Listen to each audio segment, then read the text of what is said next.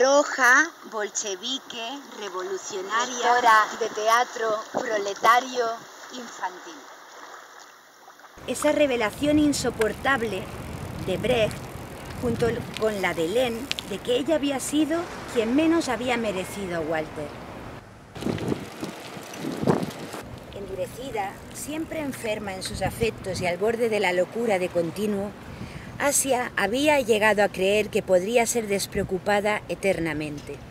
Pero no. Susurró que iba a ir a por ellos, que iba a remontar la corriente de los recuerdos. Sí, eso estaría bien. Sería ese un acto de amor para iluminar mejor aquel Walter a quien no había logrado enfocar nunca. El amor lo mismo que el dolor, tiene la cualidad de ser difícil de cuantificar.